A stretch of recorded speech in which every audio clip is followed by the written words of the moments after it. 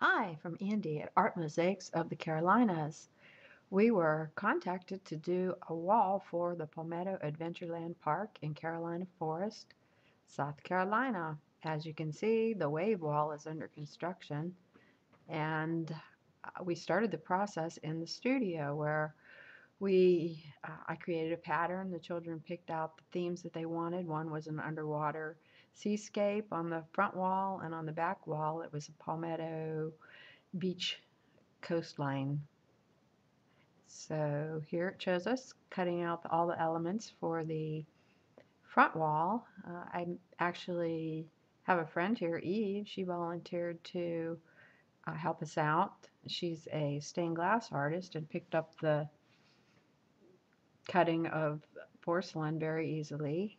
And another friend joined us, Margie. She had never cut anything before either, but she was there willing to help us out. So we put all the huge elements together on netting that we would take to the park.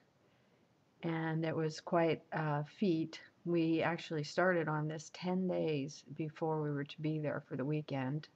They had a lot of volunteers come in to help build the park and um, this is the first day getting ready to start the fun.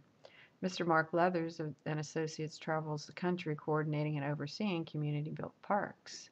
My friend is laying it out generally so that the installers know where to put the biggest elements. And then our friend Eve got everyone started. Senator Luke Rankin was responsible for raising money to build this community built park. And he was up there, wanted to install some fish, and he did a great job of that as we worked during the day, you can see we had a lot of volunteers. Our installers, Don and his assistants, there was Channel 13 news crew came, and they did a great job. See how the stuff's on netting. And then Sammy Small was another tile installer who volunteered his time. And as you can see, the wall is starting to come together. Everybody wanted to work on the mosaic wall. Of course, there was a lot more going on in the park behind us, so we couldn't let everybody join us, but my goodness, they loved cracking the tile and just had a really good time. As you can see here, the wall is starting to come together, but there were a lot of other people doing things. Row Construction asked me if I'd cut a logo for them, so I did that on site so that they can incorporate it into the wall They were very proud to be a big part of this too. While we created all the big elements in the studio, the volunteers came and they added the sea, the sky, the clouds, the beaches. And there's my hat, Matt. He's volunteering too. He's mixing some mastic. Again, the news crew's fooling around. My friend Joanne is always having fun wherever she goes. Sammy's supervising people did really, really seem to enjoy it. They had smiles on their faces all day long. We tried to protect, protect them too with some tents. It was quite warm that day. But people worked diligently. You can see big mounds of dirt that had to be filled in in front of the wall. Kind of, there's a big slant there or a rut. It was really pays to be careful when you're putting uh, mastic on a wall because if you get it all over the tile in front, then you've got to do a massive cleanup job. But hey, that's the way it goes. There's the senator's kids putting some pieces up on the wall. And a local pizza shop volunteered and gave us pizzas and some refreshments.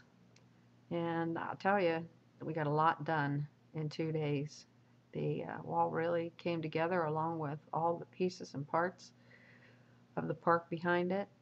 And I'm sure all the children will have a wonderful time playing at this park. Once, uh, well, we've been there since then, and we have seen lots of children playing on in the park. And here they put the toppers on the wall. It really pulled it back together too. They had fun walkways and um, the entire thing was built by volunteers. We were very, very honored to be a part of it. We, uh, I had talked to my husband earlier and told him that I would love to be a part of a community-built park, and Next thing I know, gentleman's coming in the door and asking if we'd love like to be a part, and I said, heck yes.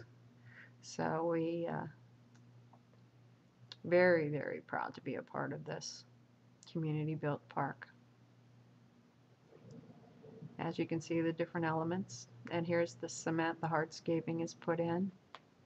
Behind it they used a rubber filler so the kids wouldn't get hurt if they were playing back there. It turned out really pretty. So again, from Art Mosaics, this is how we did the wave wall for the Palmetto Adventureland Park. Thanks for viewing.